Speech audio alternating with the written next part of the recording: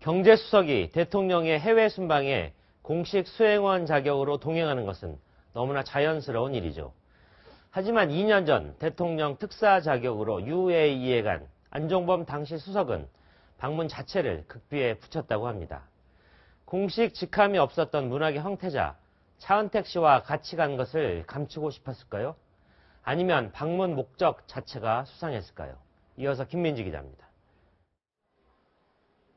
지난 2014년 8월 차은택 씨와 함께 대통령 특사 자격으로 아랍에미리트에 출장을 간 안종범 당시 경제수석. 그런데 안 수석이 현지 대사관에 자신의 방문을 극비로 해달라며 입단속을 한 것으로 알려졌습니다. 자기들이 왔다 갔다는 것도 이거는 극비 사항이다. 계획이다. 네, 일체 그냥 뭐 회사관 사람들한테도 그 얘기를 여러 번 그냥 신신당부를 했어요.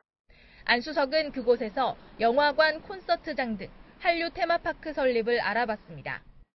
청와대 경제 수석이라는 사람이 그렇게 와서 막 그렇게 할 만한 거리가 안 됐었어요. 솔직히 정말 저런 거 가지고 수석이라는 사람이 뛰어다니나 현지 관계자들과의 면담에서 대사관은 철저히 배제됐습니다. 당시 대사관 관계자는 이상한 출장이라는 느낌을 받았다고 전합니다.